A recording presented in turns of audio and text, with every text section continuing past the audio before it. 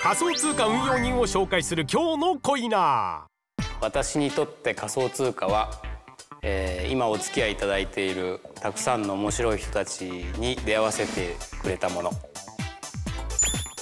ご紹介するのは日本で一番仮想通貨の税務に詳しいとも言われている税理士柳沢健二さんインターネットも、うん、あの技術的なところをこうやってた人たちが儲かったわけじゃなくて、はい、マイクロソフトであったり、うん、あの ADSL バーってばらまいて、はい。うん、あのサブサブスクリプションのこう月額課金ができる体制を作ったソフトバンクが勝ったり。はい。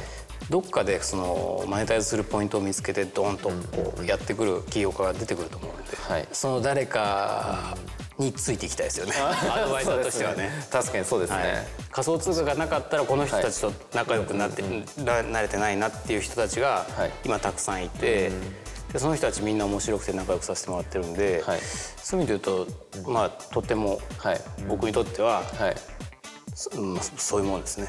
なるほど、はい。柳沢さんのインタビューは LINE アットでもご紹介しています。この機会にぜひご登録ください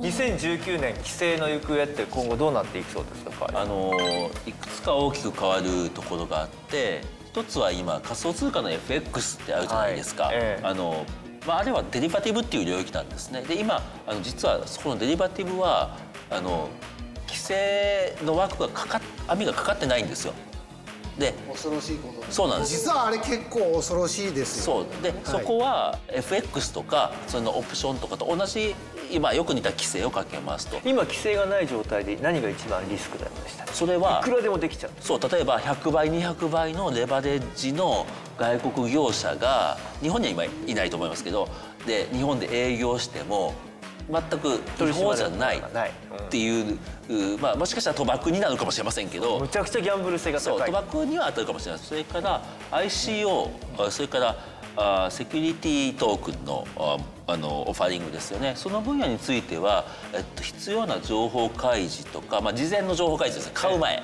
買う前どういう内容のものですか？どういう人がやってるんですか？いやもうやってほしいちゃんと。で終わった後のロードマップも重要じゃないですか。だからそう。で継続的にどういうふうに進んでいますか、えー、重要な事象は起きましたかっていうところのその開示のルール。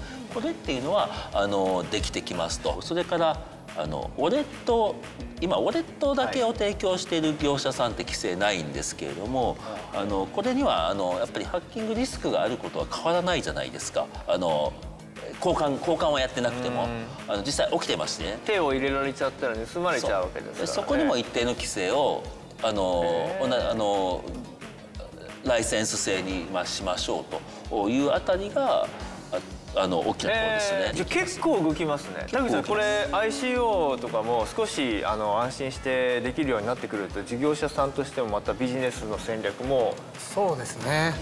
で一つはあの広がってくる ICO であったり STO っていうふうなことであったりっていうことであの、まあ、僕が知る限りだと結構開示の情報内容のあの細かさであったり量であったり継続開示すべき情報の量っていうのは多いので場合によってはあのライセンスを持っている会社自身があの、まあ、発行体になった形であの証券化したものを出すっていうふうなケースっていうのも増えてくるんじゃないかなと。でそういうところにおいてはあの、まあ、チャンスは生まれてくるかもしれないなというふうに思っています。ウォレット業者に対する規制は結構これはあのもしかしたらあの小貝さんがやられてるバルなんかもね、はいはいはい、はい、これがあの引っかかってくる。バリュー。ってあれば、はいはいはい、そうですね。あのウォレットとみなされる、はい、可能性というの、ずっと入ってますもんね。そうですね。あとはあの広告であの例えば物を買うとポイントがつくっていうのが最近あの物を買うとビットコインがもらえるみたいな。のが例えば登録されてるアドレス自体に即時送られてくるんじゃなくってあの何ビットコインあなたありますよっていうことで後でこう出金するみたいな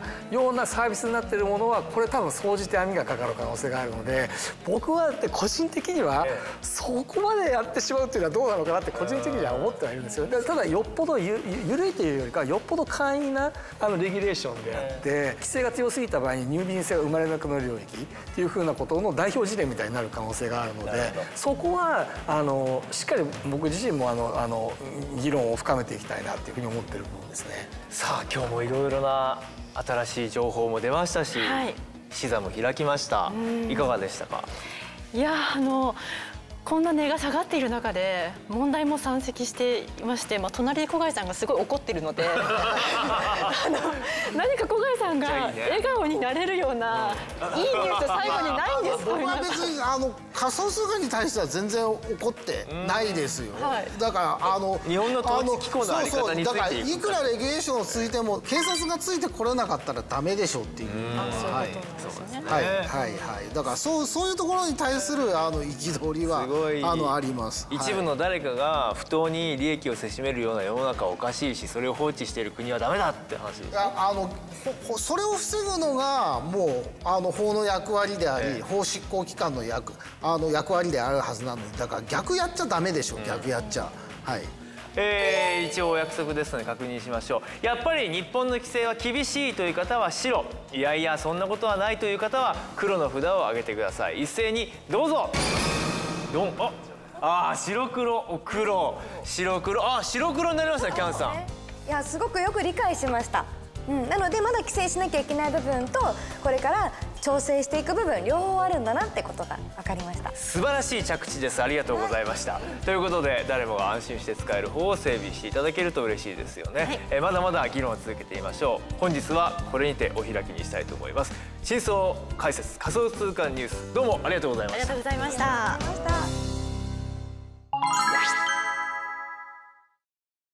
恋の野村の仮想通貨ポーズ。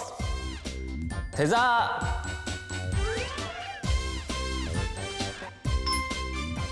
ー。なんでこのポーズになったかは LINE 後で。